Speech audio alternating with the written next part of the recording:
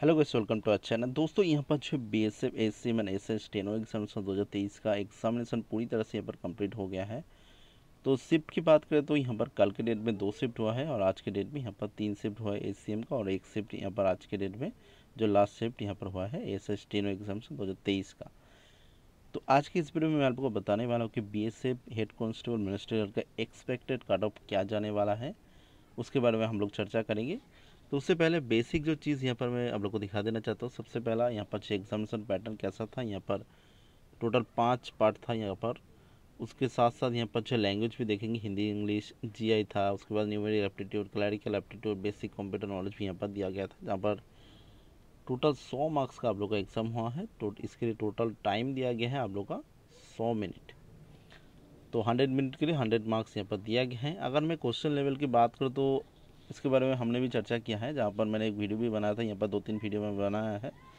जहाँ पर मैंने बताया कि पिछला वाला मतलब काल के डेट में जो जो एग्जामिनेशन हुआ है आप लोगों का, सत्रह तारीख के डेट में, वो, उसका जो आप लोग का क्वेश्चन लेवल था, वो यहाँ पर इजी टू मॉडरेट था। काफ़ी इजी आप लोग का था, यहाँ पर सिर्फ़ जो कंप्यूटर को छोड़ के यहाँ पर न्यूमेरिक में आप लोग का थोड़ा सा यहाँ पर प्रॉब्लम हुआ क्योंकि वो लेंथी था। लेकिन आज के डेट में जो यहाँ पर शिफ्ट हुआ है, वो सब शिफ्ट यहाँ पर जो है बहुत ही आप लोगों के लिए यहाँ पर जो है हार्ड लगा है। यहाँ पर मैं मॉडरेट टू हार्ड यहाँ पर कहने वाला हूँ।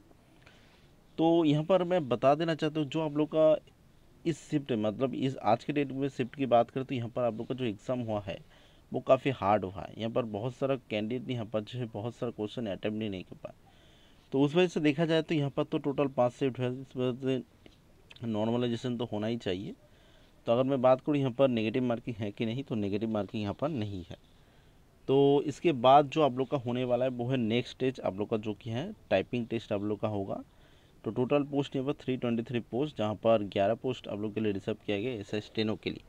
तो सबसे ज़्यादा जो पोस्ट है आप लोगों का, वो ही यहाँ पर तीन सौ बारह पोस्ट आप लोग का दिया गया है एस का, जहाँ पर यू के लिए one fifty four S C के लिए थर्टी एस टी के लिए फोर्टी ई के लिए फोर्टी वन और ओबीसी के लिए सिक्सटी फाइव तो काफ़ी अच्छा वैकेंसी यहाँ पर जो दिया गया है। तो आप बात करते हैं यहाँ पर एक्सपेक्टेड कट ऑफ़ की। दोस्तों, यहाँ पर जो एक्सपेक्टेड कट ऑफ़ आप लोग का जो यहाँ पर लो जाने वाला है, क्योंकि यहाँ पर ज़्यादातर शिफ्ट में आप लोग का जो मतलब यहाँ पर जो एग्जामिनेशन में यहाँ पर जो कैंडिडेट ने अटैम्प्ट नहीं कर पाया, उसके साथ साथ क्वेश्चन लेवल भी हार्ड था। तो इसी वजह से यहाँ पर नेक्स्ट स्टेज भी आप लोग का यहाँ पर जो है टाइपिंग टेस्ट होने वाला है। तो इसको, इन सभी को देखते हुए मेरे हिसाब से आप लोग का जो जो एक्सपेक्टेड कट ऑफ़ रहने वाला है, वो यहाँ पर लो रहेगा।